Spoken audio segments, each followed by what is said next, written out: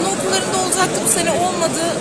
Böyle bir ihtimal var. Milli Eğitim Bakanı Yusuf Tekin, AK Parti Meclis Grup toplantısı öncesinde basın mensuplarının sorularını yanıtladı. Yusuf Tekin, öğretmen atamaları hakkında bilgi verdi. Tekin, atamaların Milli Eğitim Bakanlığı bütçesinden geçeceğini ifade etti. Öğretmen atamalarının ne zaman yapılacağı merak ediliyor. Milli Eğitim Bakanı Yusuf Tekin AK Parti Meclis Grup toplantısında bu soruyu yanıtladı. Yusuf Tekin, tarih olarak bütçenin genel kuruldan geçmesini bekliyoruz. Bütçede kamuya alınacak toplam personel sayısını bakanlıklar arasında dağıtıyorlar. Biz de kendi adımıza düşen kontenjanı nasıl değerlendireceğimizi ondan sonra belirleyeceğiz dedi.